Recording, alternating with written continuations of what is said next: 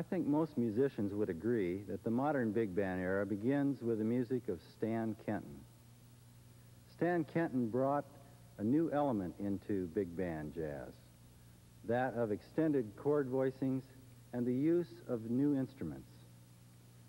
The next selection we'd like to play for you from the library of Stan Kenton also shows Kenton's great use of the rich trombone section.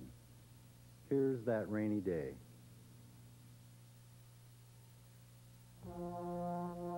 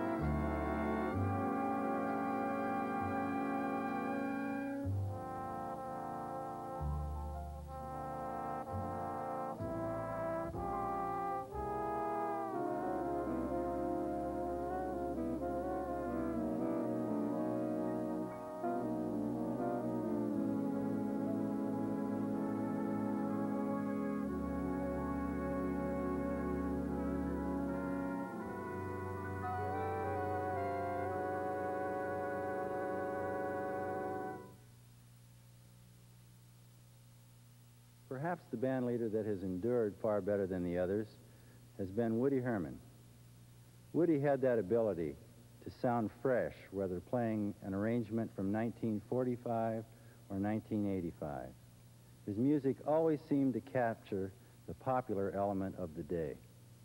The next arrangement we'd like to play for you is Cousins and reflects the Herman ability to sound hard driving, and yet place much emphasis on the improvised solo.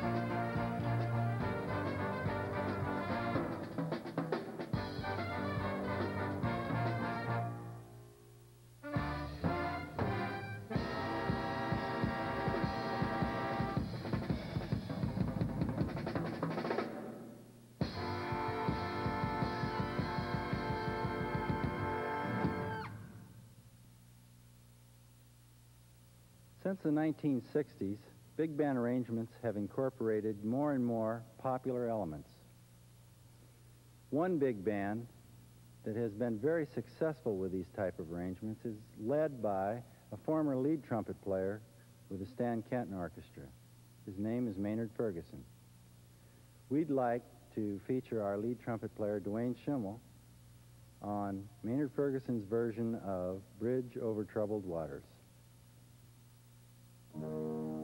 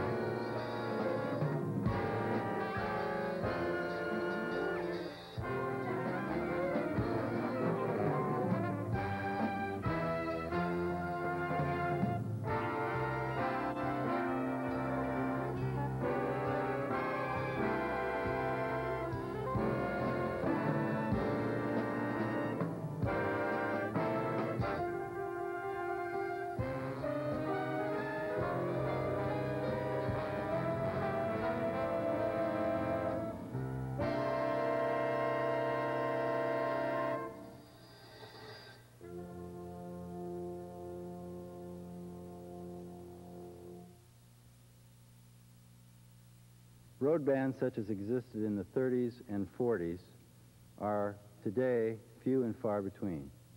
Instead, musicians interested in playing big band jazz play and record in groups called studio rehearsal bands, and they are centered in the great recording centers, Los Angeles, New York, Chicago, and Toronto. The tune you just heard is an example of such jazz. It was recorded by the Mel Lewis Jazz Orchestra originally, written by Bob Brookmeyer. A tune entitled Ding Dong Ding. I'm sure you noticed the contemporary sounds of the arrangement. The future of big band jazz lies in the hands of today's students. Our next tune is a tune that was composed by Centre Dimensions pianist Jeff Kunkel. This is a tune that Jeff wrote for the band entitled Midnight Run.